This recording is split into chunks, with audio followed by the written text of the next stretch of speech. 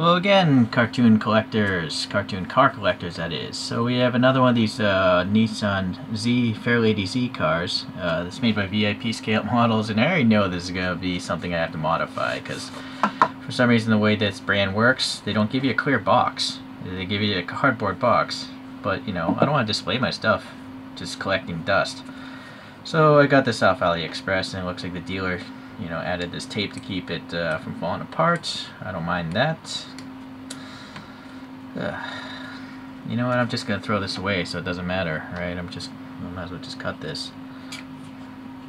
Alright.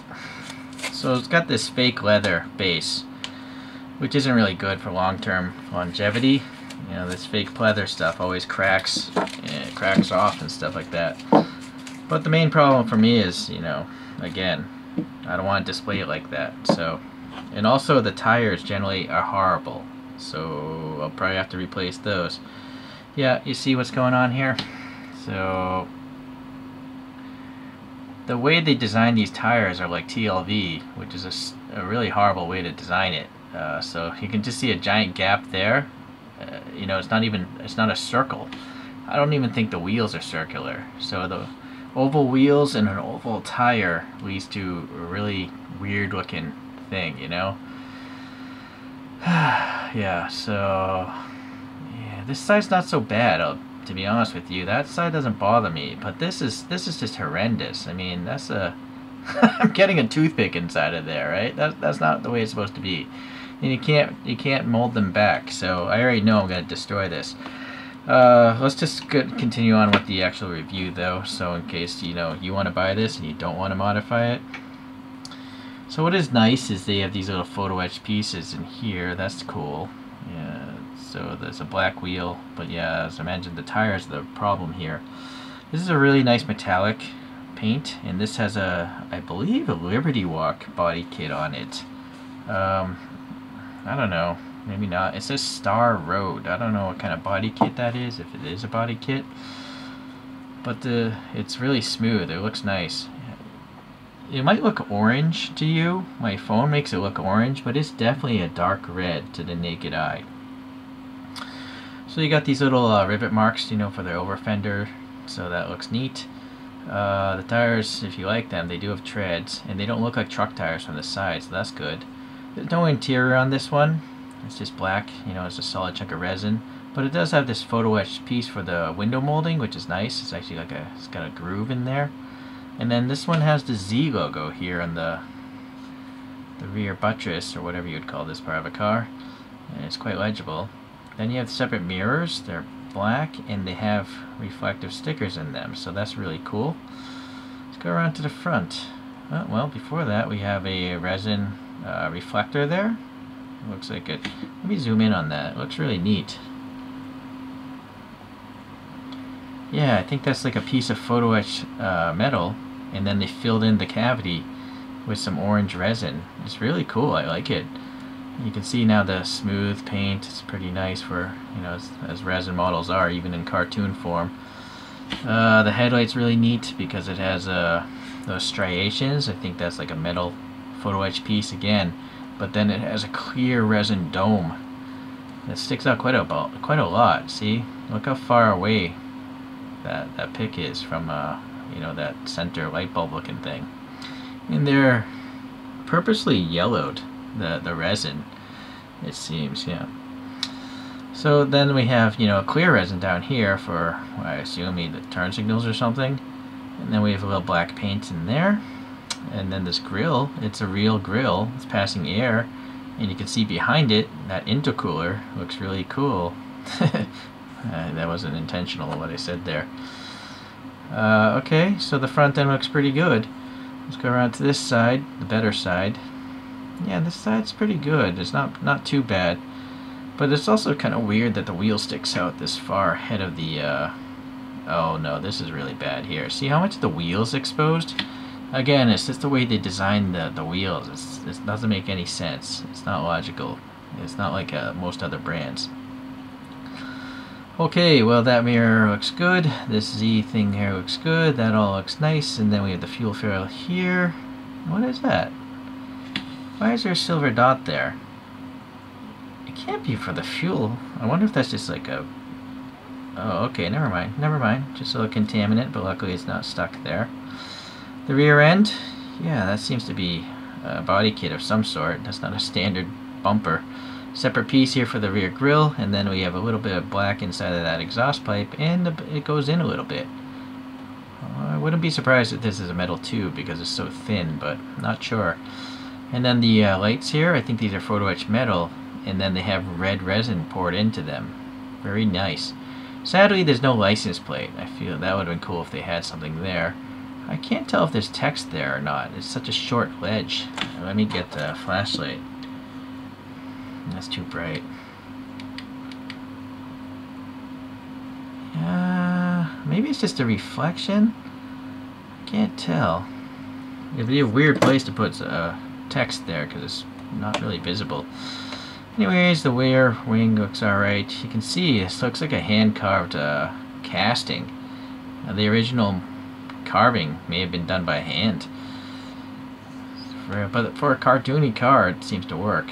Okay, now that we have a little antenna stub here, and then the rear window is painted nicely, and then we have a little chrome, uh, little stainless steel uh, molding surround. And then the windshield, same thing, but now we have Star Road Specialist. Oh, I guess you could look that up. Maybe this is a body kit by Star Road. And then uh, the wiper blades have a nice etching in them.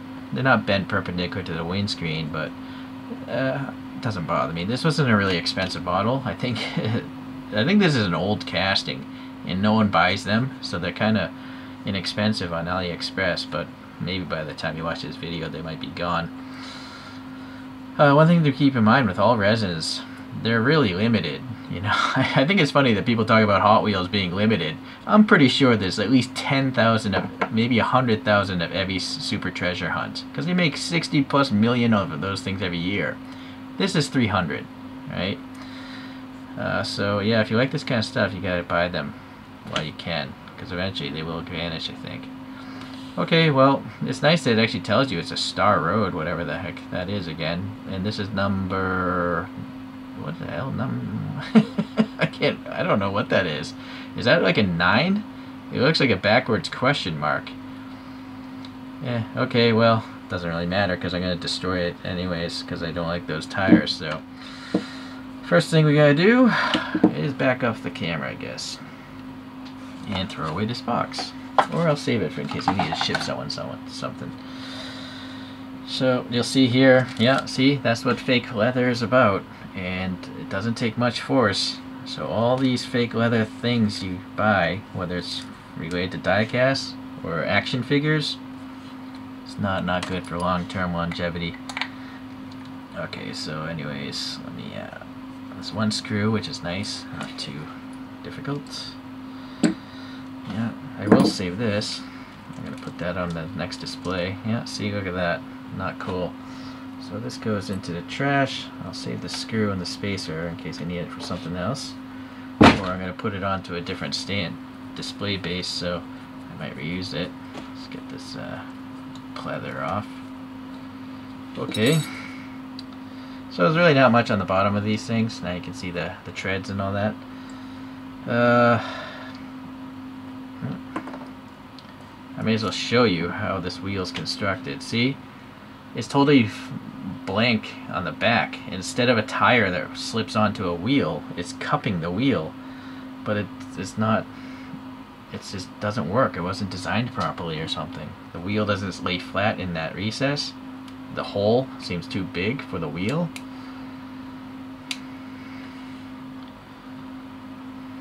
These wheels, I, I might keep them for something else, like a like a freebie. What am I thinking about? Those uh, Japanese coffee freebies. You know, those things are probably like a, a dollar brand new, so these will probably be better wheels than what comes on those. This one doesn't look so bad, but I already cut the other one. Yeah, whatever. I'm just to cut this. Uh, you'll need to see this, do you? Because we're to replace these wheels. The other issue with these wheels is they're not very big as far as height. See, look at the height of that. That's not very tall at all. I'm going to show you like a regular 164 scale wheel. Now this tire is so gappy and it's so warped, right? It's just, uh, look at how the wheel's not sitting level in there. just, yeah. When I get when I get to resin models, I expect them to be better, a lot better, because they're generally priced a lot more than regular diecast. So like I said though, this one wasn't because I don't think people bought this one. Alright. And also this rubber is kind of hard now. So it's scary what's going to happen to all of our rubber tired collectibles. Alright, I'll save those wheels for later. Uh, let me get some other wheels. Alright, I picked up some wheels already. They're from uh, Tarmac Works. I think they might be rotiform wheels. I can't really tell, but I have two kinds, so I'm going to show you in case you want to do this yourself. Again, uh, they're Tarmac Works, I just don't know what name these are. So that actually looks cool, you know, it's a nice wheel for sure, but I think I like the contrast of the gold. So I'm going to slap these gold ones in here. But uh, it's actually a little bit too wide because if you look at this thing, they have this giant thing here. So I'm simply going to snip that off. That. That. Now another thing, the rear tire, or the rear wheel, uh, is a much taller wheel as you can see from the front. And it has this very faint rib in the middle. And I'm using Choro-Q tires for the rears, but that rib wants to suck the tire to the middle, as it should. That's the purpose of the rib. So I use my single-sided nippers. These are Rui, Rui tools and I want this to be the outside so I want basically the single-sided nipper blade to be on the bottom of the wheel cutting this way. Because it's this edge that's sucking the tire in towards the middle right? But if I just do a little bit it's not even much of a rib you know in the wheel but this really helps out as far as the uh, tire not being uh, in the middle of the wheel when the Choro-Q tire is much narrower than the wheel itself you know? It'd usually be like that but anyways, with this done, see, now the, the wheel generally stays flush with the tire. A little extra plastic there. So you get the idea there. Also, maybe a little too much plastic here. Too much plastic here. Okay, so now I got some poster putty here. Yeah, look how gappy that bottom is, but I guess it doesn't matter. I just pop that putty in there. Maybe a smaller amount up front. And you can make the, you know, wheels have camber or steer. Right, a little bit of steering. do the big blob in back. This is a Uhu Patafix Pro, by the way. It's the only gray one I know of as far as poster putties go.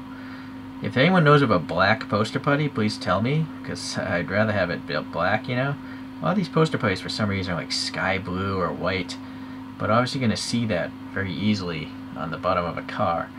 See, granted you're never going to see it from the top, but if the back was really raised up, you would see sky blue there, you know? So that's why I prefer a dark, dark putty. Alright, and then I don't think the putty really interacts with anything. It doesn't seem to strip paint. It doesn't ever harden. So it's really great stuff for hobbyists. I mention that all the time. So look at that. That's I think that looks awesome. Granted, I don't have the printing on the back tire, but uh, it's gonna have to do. I think these wheels are clearly better. Well, I don't know. Those are nice wheels I had before because they're photo etch, but again, the tires just look weird. So now I gotta figure out how to mount this onto something else, so let me figure that out.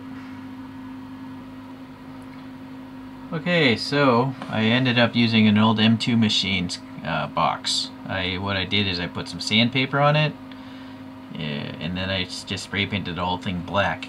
It does still have the recess here for the M2 Machines uh, name, but uh, if I pose it this way, it's not an issue.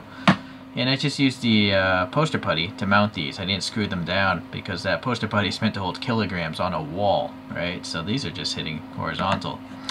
So that works out. And then uh, I showed photos when I reviewed this one. That's, I believe, this car they were going for. But I don't think I showed photos of this uh, body kit when I reviewed this one here. So I think this is it. It's got like the in ram intake and two taillights like that. And then this is a Star Road body kit, and it does match the shaping of this, front and rear. So you can uh, pause the video, obviously, and take a close look. Let me get this lower. See? That one little exhaust, and yeah. It matches up. It's all good. So someone there, whoever runs this VIP scale, whatever, whatever company this was, VIP scale models, they must really love the Fairlady Z. And maybe they own Fairlady Z's and started up a model company. I mean, to make to make three different castings of modified Z's is a lot of dedication. So I want to thank them for that. I just really wish that they actually put them into normal display boxes.